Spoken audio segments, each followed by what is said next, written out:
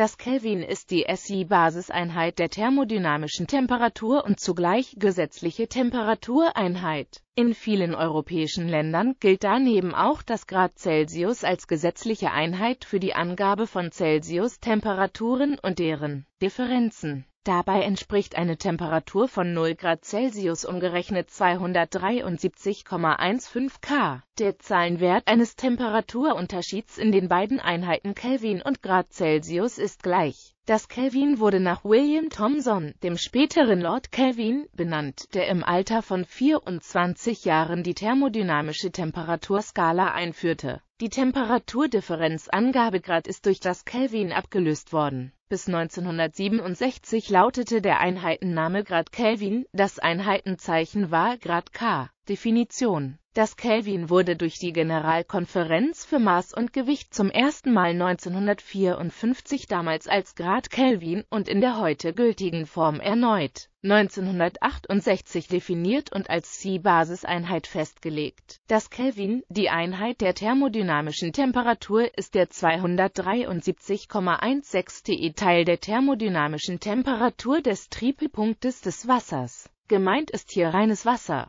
dessen Isotopenzusammensetzung sich an wie eine Standard Mean Ocean Water orientieren sollte und dessen Tripelpunkt bei 0,01 Grad Celsius liegt. Durch diese Festlegung wurde erreicht, dass die Differenz zwischen zwei Temperaturwerten von einem Kelvin und einem Grad Celsius gleich groß sind und gleichwertig verwendet werden können weil ergibt. Der Nullpunkt der Kelvin-Skala liegt im absoluten Nullpunkt bei minus 273,15 Grad Celsius. Diese Temperatur ist jedoch nach dem Nernstschen Wärmesatz weder messbar noch erreichbar, da Teilchen bei 0 K keine Bewegungsenergie hätten. Die Verbesserungen der Messtechnik machten die Reproduzierbarkeit der beiden Fixpunkte, Gefrier- und Siedepunkt von Wasser zum Problem vor allem der Siedepunkt ist stark vom Luftdruck abhängig, der seinerseits von der Höhe über dem Meeresspiegel und dem Wetter abhängt. Der Trippelpunkt einer Substanz ist hingegen eine gleichbleibende Stoffeigenschaft, das heißt, wenn sich die Substanz an ihrem Trippelpunkt befindet, hat sie stets dieselbe Temperatur und denselben Druck. Dabei kommt es jedoch nicht nur auf ihre chemische Reinheit, sondern auch auf ihre Isotopenzusammensetzung an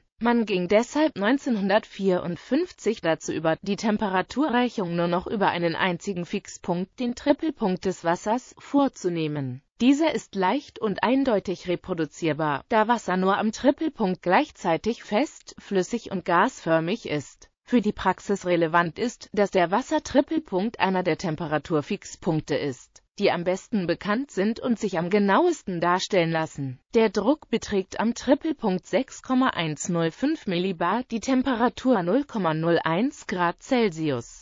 Zusammen mit dem absoluten Nullpunkt kann dadurch die absolute Temperaturskala definiert werden die Temperatur in Kelvin beginnt bei 0 K am absoluten Nullpunkt. Der Trippelpunkt des Wassers hat 273,16 K. Es gilt, Wasser gefriert also bei T ist gleich 273,15 K und siedet bei T ist gleich 373,15 K. Eigenschaften Das Kelvin wird vor allem in der Thermodynamik Wärmeübertragung und allgemein in Naturwissenschaft und Technik zur Angabe von Temperaturen und Temperaturdifferenzen verwendet mit der Kelvin-Definition ist zugleich die Temperatur des Tripelpunktes von Wasser, speziell des Vienna Standard Mean Ocean Water, festgelegt, und zwar auf den Wert 273,16 K. Die Schmelzpunkttemperatur des Wassers bei Normalbedingungen ist dagegen um ca. 0,01 K verschoben, sie liegt auf der Kelvin-Skala bei ca. 273,15 K. Die Temperatur wird durch diese Definition mit der Energie, das heißt dem Energiegehalt eines Körpers oder Systems, verknüpft und heißt daher thermodynamische Temperatur. Enthält ein physikalisches Objekt keine Energie, dann hat es die Temperatur 0 K und befindet sich somit am absoluten Nullpunkt. Wenn der Zahlenwert einer Temperatur auf der Kelvin-Skala mal so groß ist wie der einer anderen Temperatur, so ist der Energiegehalt bei mal so hoch wie der bei. In atomistischer Sicht kann man sagen, dass bei der Kelvin-Skala die mittlere kinetische Energie der Teilchen proportional zur Temperatur ist das heißt eine doppelte kinetische Energie entspricht einer doppelten Temperatur. Ein weiterer Zusammenhang leitet sich aus der Maxwell-Boltzmann-Verteilung ab Eine Verdopplung der Temperatur auf der Kelvin-Skala führt bei idealen Gasen zu einer Erhöhung der Teilchengeschwindigkeit im quadratischen Mittel um. Den Faktor Geschichte. Die Teilungen der von William Thomson vorgeschlagenen absoluten Temperaturskala trugen zunächst die Bezeichnung Grad A. Im SI-Einheitensystem galt von 1948 bis 1968 Dekasekunden Grad K als Temperatureinheit. Außerdem wurden im genannten Zeitraum Temperaturdifferenzen abweichend von Temperaturangaben in DEG angegeben die Verwendung dieser alten Einheiten ist heute in Deutschland nicht mehr zulässig. Bereits 1948 wurde durch die CGPM eine absolute thermodynamische Skala mit dem Trippelpunkt des Wassers als einzigem fundamentalen Fixpunkt festgelegt, aber noch nicht mit der Temperatur verknüpft die stetig verringerten Unsicherheiten bei der Messung der Temperatur des Wassertrippelpunktes machten es im 21. Jahrhundert möglich, den Einfluss der Isotopenzusammensetzung auf den Trippelpunkt des Wassers zu bestimmen. Die notwendige Präzisierung der Definition des Kelvinsch erfolgte 2005 beim 94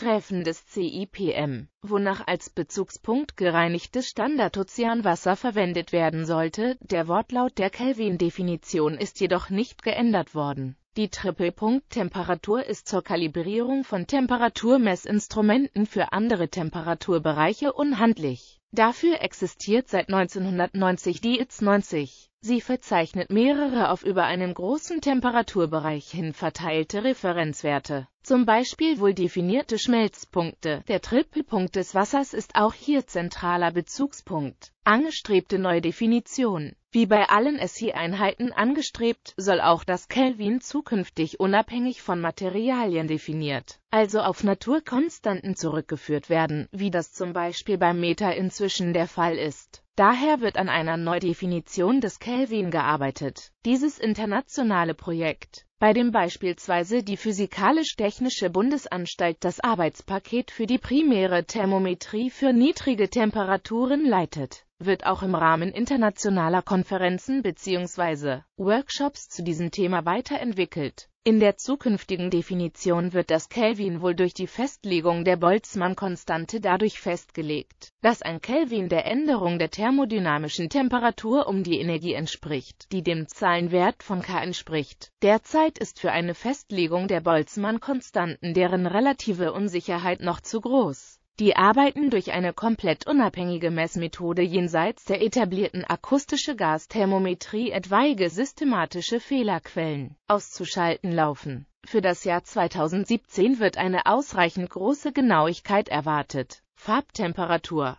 Hauptartikel Auch die Farbtemperatur wird in Kelvin angegeben. Sie ist in der Fotografie und zur Charakterisierung von Lichtquellen wichtig die Farbtemperatur gibt die spektrale Strahldichteverteilung eines schwarzen Strahlers an, der die Temperatur ist gleich Farbtemperatur hat. Bei Glühstrahlern mit wellenlängenabhängigem Emissionsgrad sowie bei nicht-thermischen Lichtquellen weicht die Farbtemperatur von der Temperatur des Strahlers ab.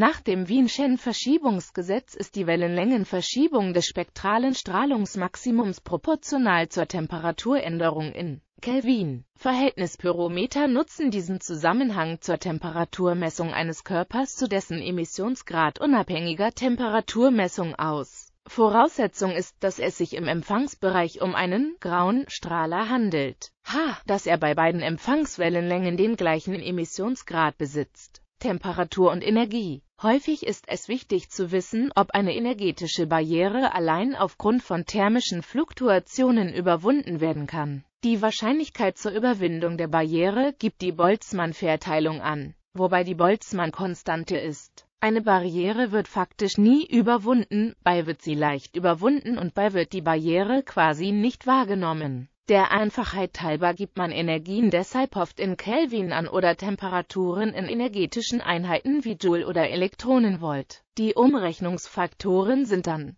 dies soll am Beispiel des Wasserstoffmoleküls verdeutlicht werden. Ab welcher Temperatur rotiert das Wasserstoffmolekül? Die Rotationsenergie für Wasserstoff ist, wobei die Rotationskonstante und die Rotationsquantenzahl ist Um das Molekül vom nicht rotierenden Zustand zu überführen, braucht man die Energie. Dies entspricht 175 K. Wasserstoff rotiert also bei Raumtemperatur schon ganz beträchtlich. Ab welcher Temperatur schwingen die Wasserstoffatome gegeneinander? Die Energie, die benötigt wird, um Wasserstoff in den ersten Schwingungszustand zu befördern, ist Punkt. Wasserstoffmoleküle beginnen also erst bei sehr hohen Temperaturen von 5980 K Schwingungen auszuführen. Siehe auch Tabellen Temperaturumrechnung Temperaturvergleich Präfixe Bei Temperaturangaben sind Präfixe relativ unüblich. Für kleine Werte können mK, Mikro-K und nK verwendet werden, andere Ableitungen kommen kaum vor